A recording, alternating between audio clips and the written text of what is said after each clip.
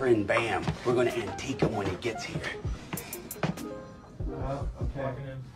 Okay. What's up? Not much. How you been? High five.